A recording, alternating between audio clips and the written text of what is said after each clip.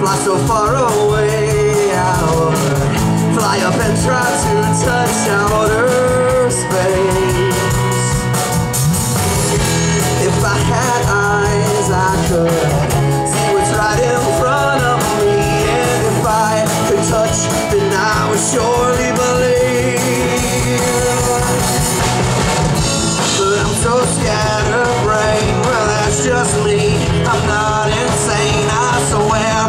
until then I pray, I say